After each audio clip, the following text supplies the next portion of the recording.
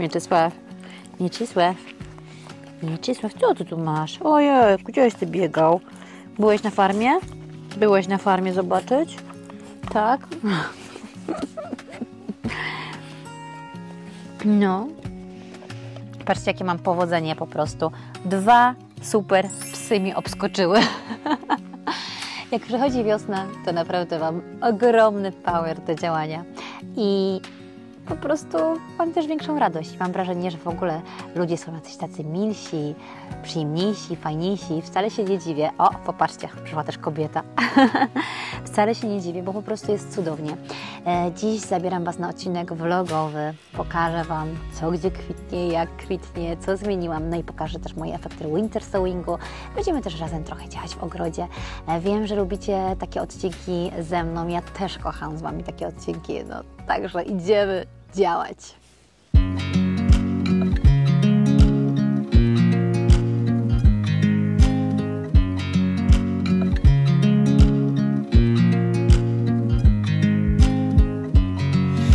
watch you as you drive. Do you know I'm looking? And I can't help but smile. Do you know how much I love you? You put my favorite song on.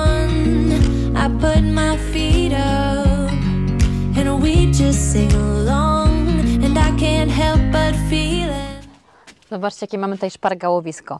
Kosiara wyciągnięta, myjka wyciągnięta. E, Sezon w tym roku po prostu przyszedł wcześniej, więc e, wszystko po prostu przyspieszyło. No i tu oczywiście moje pudła Winter Sewing.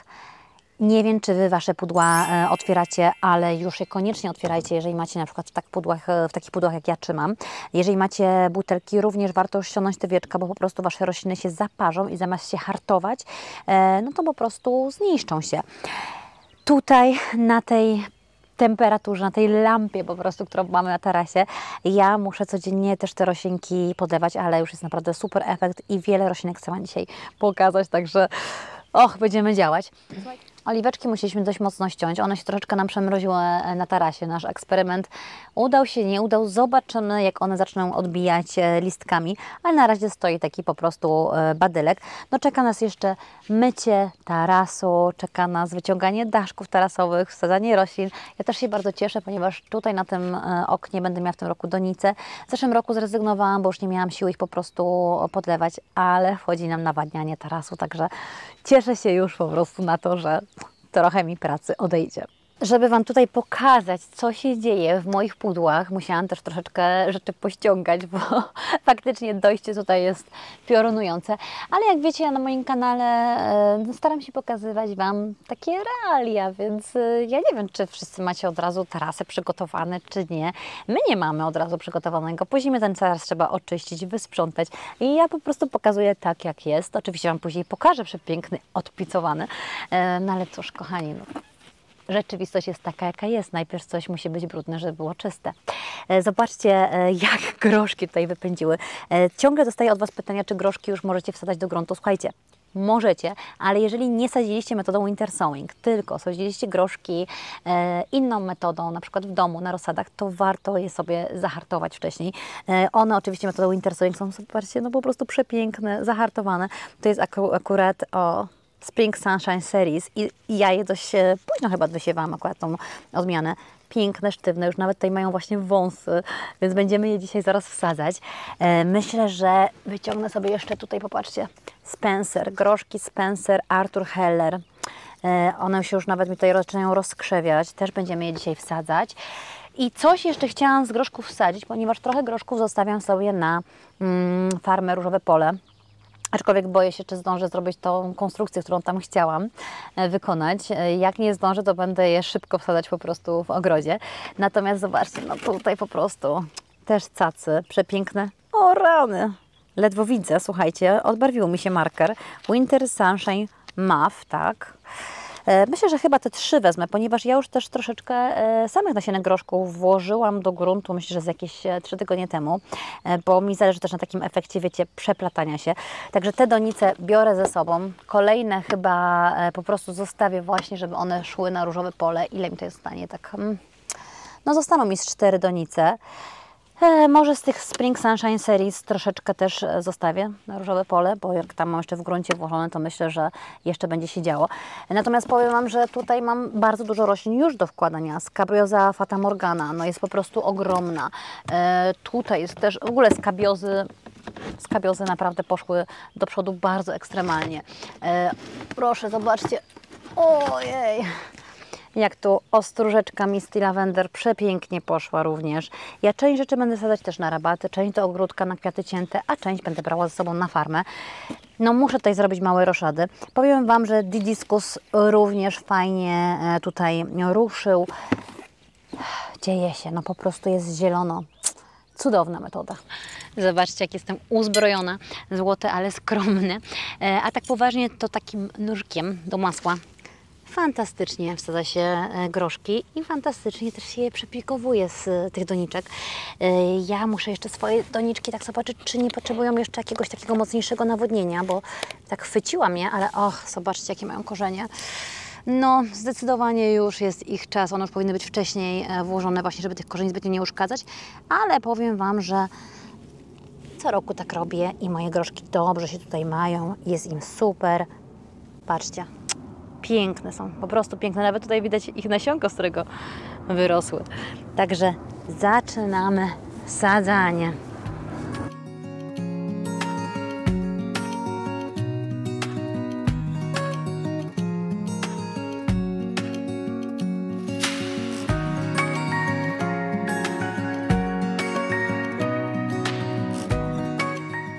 Odmiana Spring Sunshine e, Series, ona jest nie dość, że piękną odmianą, to jest taka właśnie, która troszeczkę wcześniej zakwita niż pozostałe, e, więc fajnie jest ją wcześniej wysadzić.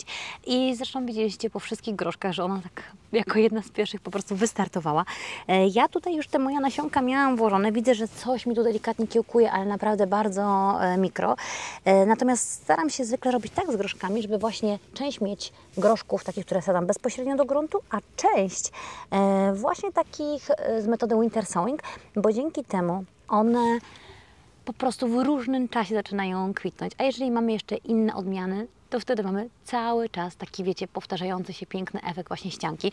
E, Te moje mm, kratki tutaj super się sprawdzają, ale dość wysoko jest kratka, więc ja tutaj zwykle, zwykle mam takie sznureczki jeszcze, żeby te moje groszki mogły się po nich fajnie piąć.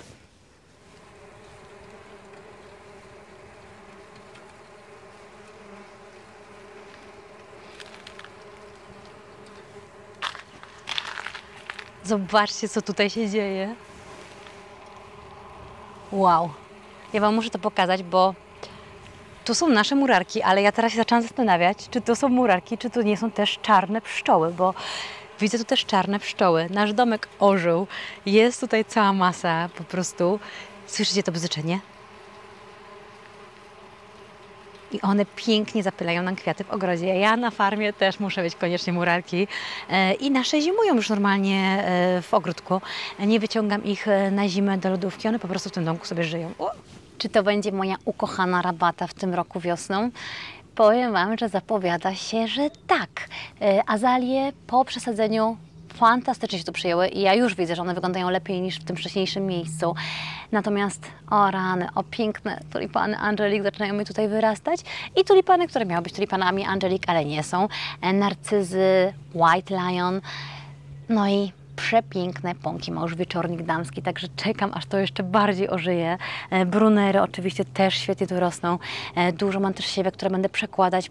Powiem Wam, że no tutaj czuć wiosnę i w zapachu, i w wyglądzie, no po prostu we wszystkim.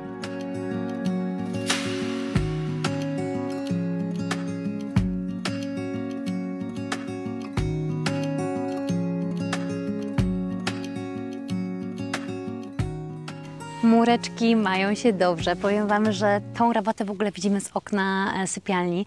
E, Nasze okna sypialni wychodzą tak jakby na dwie strony ogrodu i przeważnie tą stronę mijałam właśnie przez to, tutaj pamiętacie, mówiłam Wam, że to jest moja rabata porażka.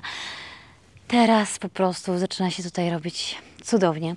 E, Już właśnie te narcyzy fantastycznie wyglądają, co mnie zaskoczyło, e, ale miałam je naprawdę też wyjątkowo głęboko wkopane. To oczywiście tulipany, bo te żółte tulipany, które widzicie z tyłu, z takimi namiastkami fioletu, to są tulipany, które wiele lat temu wsadziłam w ogrodzie i jak tą rabatę przerabialiśmy, to pamiętacie, szła tutaj nawet glebogryzarka, później szły tutaj kartony, dużo kompostu. Absolutnie nie myślałam, że te tulipany przetrwają. Przetrwały. Czekam teraz na te jaskry, zobaczymy jak one sobie poradzą przy tych temperaturach, bo naprawdę jest bardzo gorąco.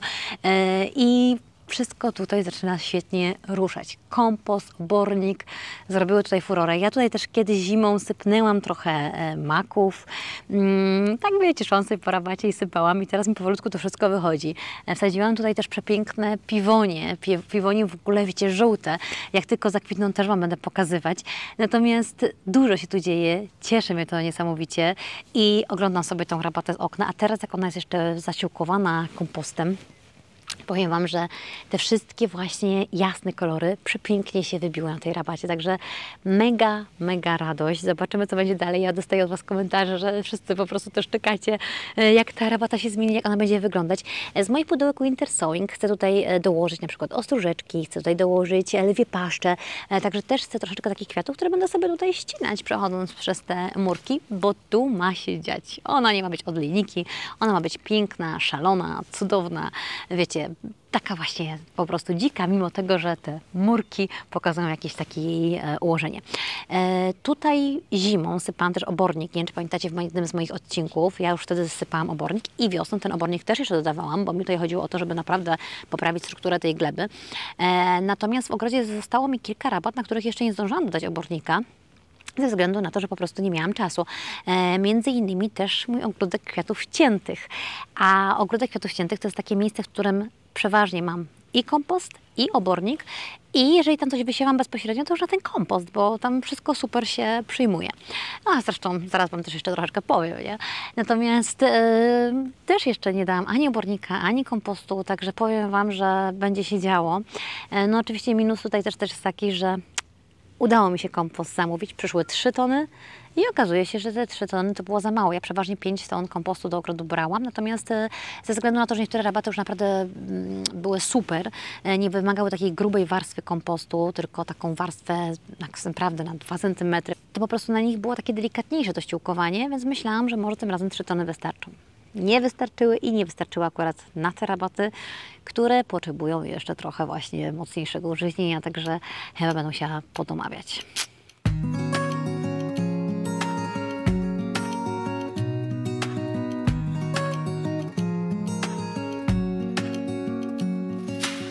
Słuchajcie, ja tak idę z taczką i oczywiście przypomniało mi się, że muszę Wam coś powiedzieć. E, To jest ta rabata, którą też na kartonach w zeszłym roku powiększaliśmy.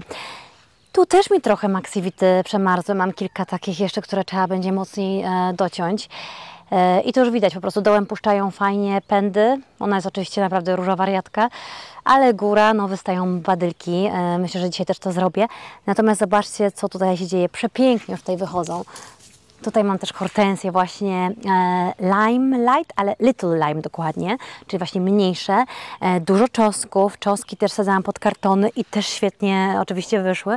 E, no i co? I mam tutaj bardzo dużo bylin, ale zobaczcie na kocimiętkę przodem, bo to jest ta kocimiętka, którą sadzaliśmy jesienią. Ja Wam też mówiłam, że kocimiętka to jest taki gigant, ona się tak rozrasta, że jak kupicie taką naprawdę fajną, to po prostu ją od razu podzielcie, bo ona Wam się super rozrośnie. Więc tutaj miałam kilka kocimiętek, a wszystkie te e, pozostałe później były właśnie z podziału tych kocimiętek. Świetnie przetrwały zimę, świetnie się rozrosły. Myślę, że będą fajną ścieżkę robić. Dobra, biorę taczkę i lecę dalej. E, Sypanie obornika mam oczywiście na tą rabatę również. E, Tu miałam przepiękną różę mm, Jade Austina, Claire Austin. Przepiękna. E, Ja widzę, że tu już nic z niej nie będzie.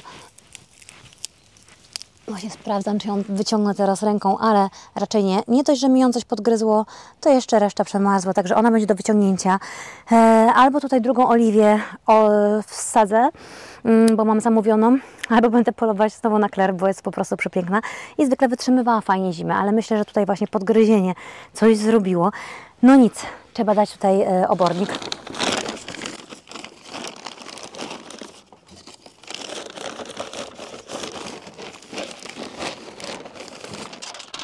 Ja obornik w ogóle daję pod większość roślin, oprócz takich, które mogłyby się jakoś tam za bardzo pokładać. e, bo one jak już mają jeszcze ściółkowanie kompostem e, i tak gdzieś tam korzeniami sobie pozyskują e, mimo wszystko też taką właśnie fajną próchnicę, to nie szaleję z nimi. Czyli na przykład pod lawendę w ogóle nie daję mm, już obornika, natomiast pod ostróżki jasne, że daję, pod róże jasne, że daję. Śmieję się zawsze, bo jak podchodzi ten zapach obornika, to mi się przypomina taki filmik Magdy Gessler gdzieś tam właśnie w Kuchennych Rewolucjach, gdy przychodzi i mówi, że tutaj śmierdzi i tak dalej. No to tak właśnie zaraz tutaj będzie.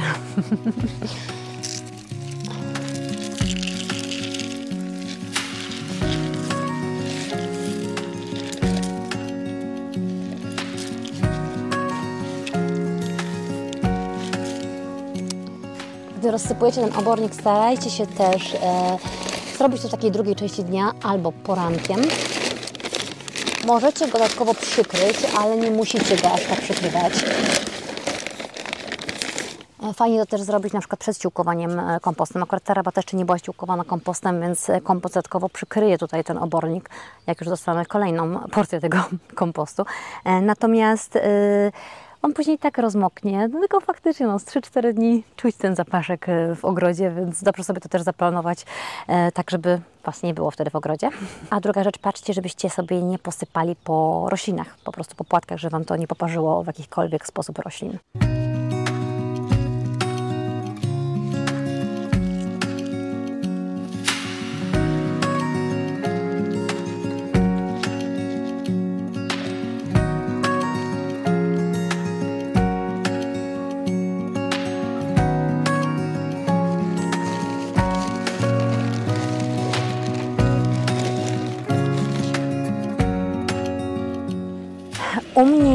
Dużo roślin e, i też roślin cebulowych, które super, że właśnie teraz jeszcze zasilę, że ja tutaj mogłabym po prostu wiecie, tak sypnąć tym obornikiem i on i tak będzie tam przydatny.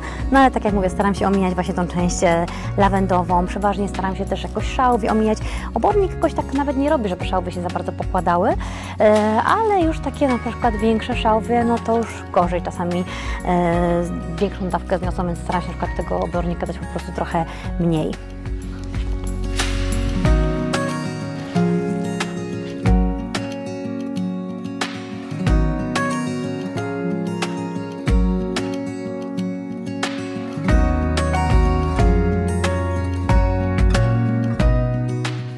Mamy trzy takie rajskie jabłuszka w ogrodzie. E, Dużo lat już mają, ale są po prostu cudowne. Zawsze lubię, jak one kwitną. E, Też je widzę z okna kuchennego, więc to też jest cudowne.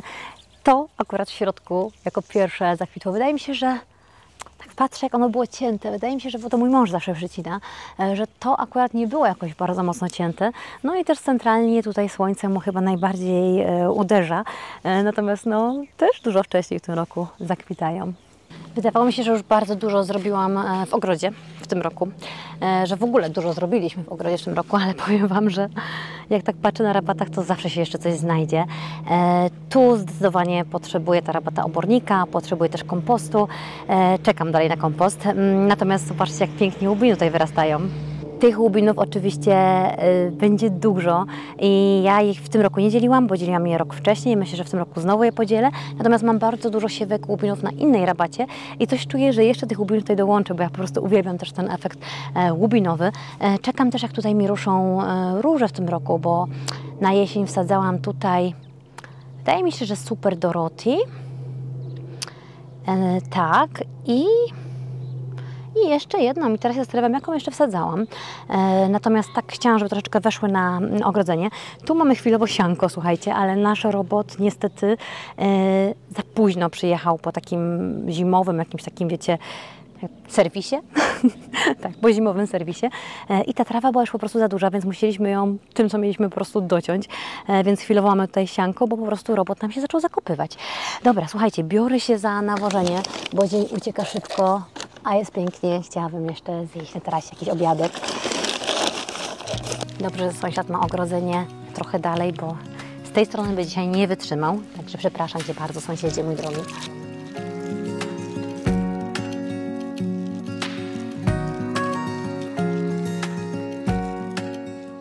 Oborniczek już jest rozłożony do końca.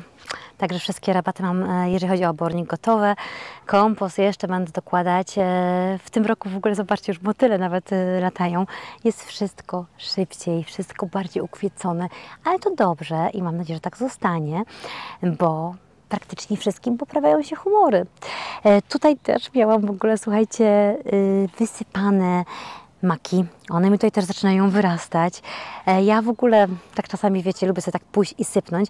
E, Będę robić tak też na moich rabatach, które mam e, z kompostem, na wierzch po prostu, delikatnie, lekko zasypując, wysypywać na przykład kosmosy bądź cynie. Co prawda kosmosy już e, też wysiewałam e, jako winter spring sowing bardziej i one już naprawdę super ruszyły, więc myślę, że Wam też mogą bardzo szybko ruszyć już na rabatach, bo jest ciepło. No, u nas jest teraz 26 e, stopni, także będę sobie tak, wiecie, przechodzić i sypać sobie nasionkami w tym miejscu, oznaczać, które to jest miejsce, żeby w razie czego też podlewać, no i też chronić przed ślimakami. Chciałabym właśnie tutaj troszeczkę że takich niższych kosmosów dodać. Nasiona oczywiście są jeszcze dostępne na zakazanym ogrodzie, no i myślę o cyniach i myślę, że cynie właśnie dodana na rabatę z murkami i też o tą rabatę właśnie e, pod basenem. Dobra, słuchajcie, idę działać. Dziękuję Wam za dzisiejszy odcinek. Dziękuję Wam, że byliście ze mną na vlogu. Dajcie łapkę w górę, jeżeli Wam się podobają takie odcinki i napiszcie, co u Was słychać. Dziękuję.